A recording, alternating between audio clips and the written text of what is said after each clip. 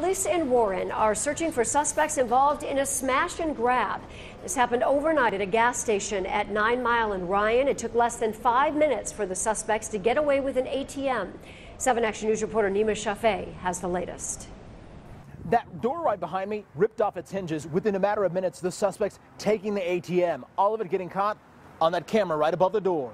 We are neighborhood station. I mean, I think uh, me and my uh, co-worker, they very friendly to the neighborhood. So friendly that this morning, those who frequent Ahmed Al-Battat's Marathon gas station here are wondering what happened overnight. We don't have no a problem with the neighborhood, and they've been help us a lot.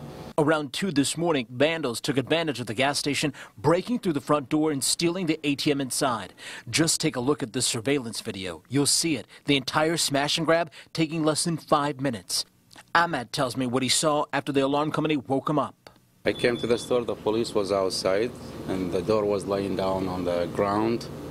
And uh, find out they didn't take nothing except the ATM machine. And here's another look. The suspects had to try their broken chain three times before the ATM fell off the ground, ripping the bolts that anchor it down. And here you see the suspects sliding the ATM out on the ground. Then this, the suspects loading it up at 2.04 this morning. And this isn't the first time Ahmed has been forced to call police. He's had two similar instances over the past three years.